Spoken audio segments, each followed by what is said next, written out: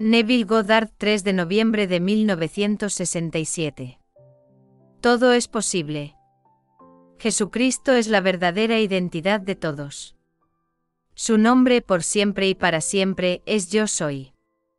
Por lo tanto, cuando dices Yo soy, estás declarando tu verdadera identidad. Crees que todas las cosas son posibles para alguien llamado Jesucristo, pero no para ti mismo. Si lo haces es porque no sabes quién eres. En 1929, creyendo que Jesucristo era otro, me encontré en su presencia. Nos abrazamos y me convertí en el amor infinito que contemplaba, porque en ese momento fui incorporado a su cuerpo y me convertí en uno con el Señor resucitado. La Escritura nos dice, nadie ha visto jamás a Dios, sino su Hijo unigénito, que está en el seno del Padre, Él lo ha dado a conocer. Esto es cierto porque 30 años después, el único Hijo de Dios se dio a conocer a mí. Cuando fui incorporado al cuerpo de Dios, pensé que era Neville. Pero 30 años después, cuando David de la fama bíblica explotó desde dentro y me llamó Padre, supe que yo era Dios. Aunque para mí David quien dijo, Te declararé el decreto del Señor, él me dijo, Tú eres mi hijo, yo te he engendrado hoy, vivió en el mil antes de Cristo y no tenía ninguna relación conmigo. Sin embargo, ahora sé la verdad de las palabras, nadie ha visto a Dios hasta que aquel que está en el seno del Padre lo da a conocer. Solo cuando todo mi ser explotó y el Hijo de Dios, David, apareció en el Espíritu y me llamó Padre, conocí mi verdadera identidad. Ahora sé por experiencia que soy Jesucristo y que no hay otro Dios, ningún otro Salvador. También sé que tú y yo salimos del cuerpo del Señor Jesucristo, y es a ese único cuerpo, un único espíritu, un único Señor, y Dios y Padre de todos, al que regresamos a través de estas experiencias que tienen lugar en nuestro interior. Permíteme explicarlo de esta manera.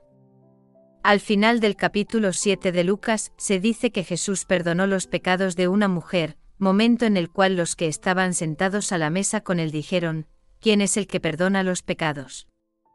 Luego él fue de pueblo en pueblo predicando las buenas nuevas del reino de Dios. María Magdalena, Juana y Susana fueron con él, proveyéndole de sus recursos. Los eruditos de la Gran Biblia del intérprete, considerada la obra más erudita hasta el momento, hicieron esta observación sobre este pasaje, y estoy citando con precisión, Jesús no dependía de hospitalidad casual, sino que era apoyado por mujeres adineradas. ¿Puedes creer eso? Están hablando del hombre que dijo, todo lo que deseas, cree que lo has recibido y lo tendrás, y todas las cosas son posibles para el que cree. Sin embargo, se nos pide que creamos que Jesús dependía de otros. ¿Por qué dirían tales eruditos semejante cosa? Porque no habían experimentado a Jesucristo. Esta no es una historia de tres mujeres adineradas, sino de aquellas que vieron la tumba vacía. Estos personajes son eternos. Son aquellos que contaron lo que habían visto relatando sus propias experiencias. Se dice que los apóstoles que escucharon no creyeron, ya que les pareció un cuento sin sentido. Esto es seguido por una historia en la que el Señor resucitado caminó con estas mujeres y aunque no lo reconocieron, les preguntó, ¿de qué se trata todo esto? Y una respondió, ¿no sabes que crucificaron al gran profeta que fue entregado en manos de los ancianos y las autoridades? Entonces él dijo, ¿no es necesario que el Cristo sufra estas cosas y luego entre en su gloria?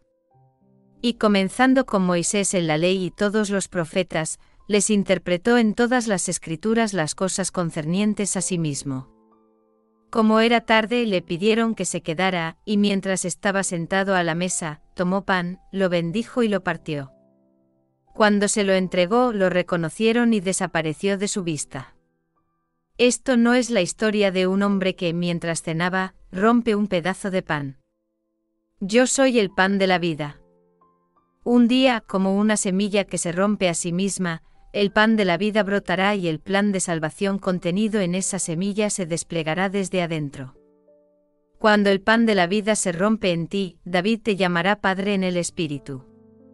Antes de esta revelación, estarás en la presencia del Señor resucitado, abrazado e incorporado a su cuerpo. Esta incorporación es tu bautismo porque en ese momento estás unido, y recuerda, si has sido unido con Él en una muerte como la suya, ciertamente serás unido con Él en una resurrección como la suya. Nota la diferencia en el tiempo verbal. Has sido unido con Él en la muerte y serás unido con Él en la resurrección. La semilla ha sido rota y se está rompiendo en todos. Saliste de ti mismo para entrar en este mundo, y regresarás a ti mismo enriquecido por la experiencia. La palabra traducida como sufra en la frase, no es necesario que Cristo sufra estas cosas y luego entre en su gloria, significa experimentar sensaciones.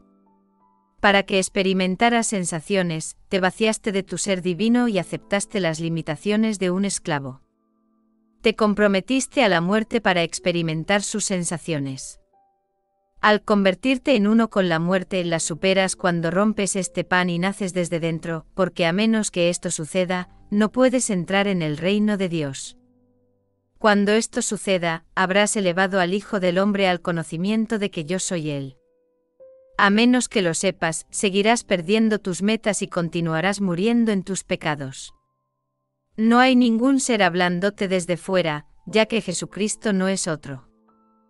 Tú y yo cumplimos todo lo dicho de Él individualmente, debido a nuestra singularidad. No hay nadie más como tú y no puedes ser reemplazado en el reino de Dios. Aunque lo que te digo parece una historia salvaje, es verdad, porque en la casa de mi padre hay muchas habitaciones. Si no fuera así, les habría dicho que voy a preparar un lugar para ustedes. Y cuando vaya volveré y los recibiré conmigo para que donde yo esté, ustedes también estén. Ahora las mujeres mencionadas en la historia de Lucas son testigos. Tú serás mi testigo. Te llevaré a la casa del Padre, donde te instruiré y te diré quién soy. No puedo llevarte más lejos. Debes encontrar al Padre en ti, y nunca lo harás mientras me mires como a otro. Cuando me ves, ves al Padre, pero no soy el Padre cuando me miras. Encontrarás al Padre solo cuando su Hijo unigénito, David, te llame Padre. El Antiguo Testamento es un plan profético, y el Nuevo Testamento interpreta su profecía. Cuando esta profecía se experimenta, es tan diferente de lo que parece en la superficie, porque el Antiguo Testamento es simplemente una prefiguración, una sombra, de una manera no del todo concluyente o inmediatamente evidente. Cuando suceda en ti y sucederá, nacerás desde arriba y descubrirás al Hijo de Dios, que te revela como su Padre. El templo de tu cuerpo espiritual será rasgado de arriba a abajo y el Espíritu Santo descenderá sobre ti en forma corporal como una paloma.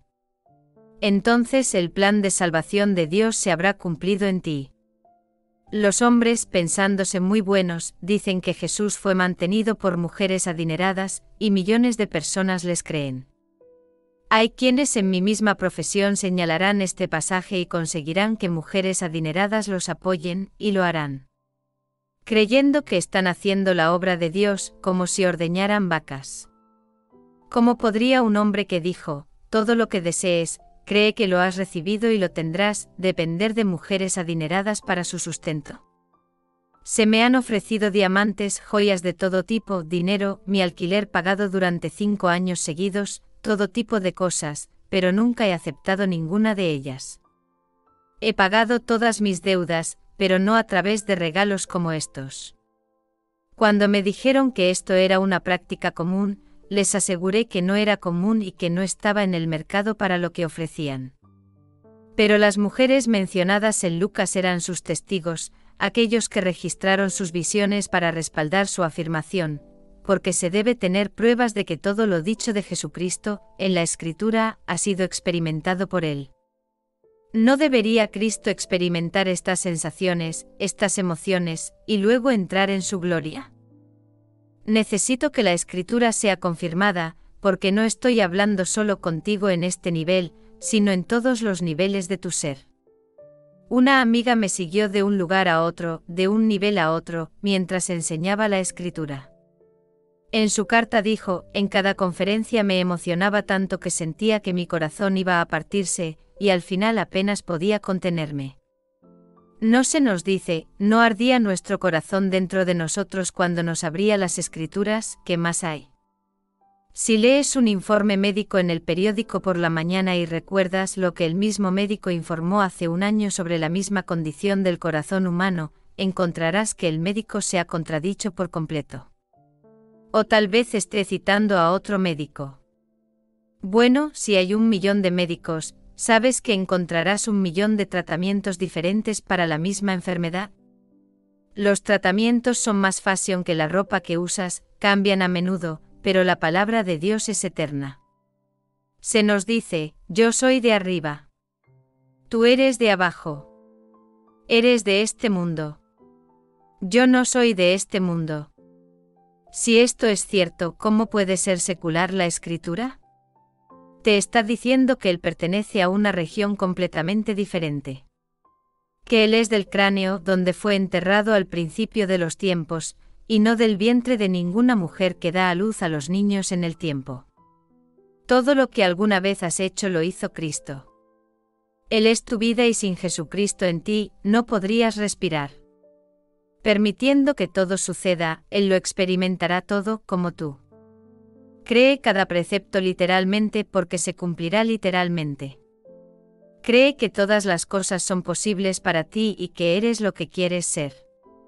Persiste en esa suposición y se endurecerá en un hecho. Habiendo asumido la vida que vives ahora, nadie puede quitártela excepto tú mismo. Tienes el poder de abandonarla al dejar de ser consciente de ella y el poder de recuperarla a través de la conciencia.